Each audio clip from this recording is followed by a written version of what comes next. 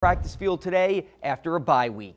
And speaking of the bye, quarterback Teddy Bridgewater created a viral moment when he performed with his high school dance team in Miami. Today, Teddy was asked about doing the super strut with the Northwestern High Dynamic Dozen.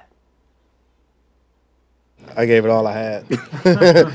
yeah, man. Um, but no, uh, I couldn't win any further. Uh, that's why I had my hands in my jacket, to try to keep myself up. You know, uh, those girls, man, the, it's impressive. Uh, I was talking with them at halftime and you know, just watching them go over their routine. I was like, man, how do you guys do it? And uh, Miss Young, she was just saying it's muscle memory. It's like it's, it's like playing football. You know, when you have to learn a new play and go out there and play. I was like, nah, it's totally different. So, but um, yeah, it was, it was fun.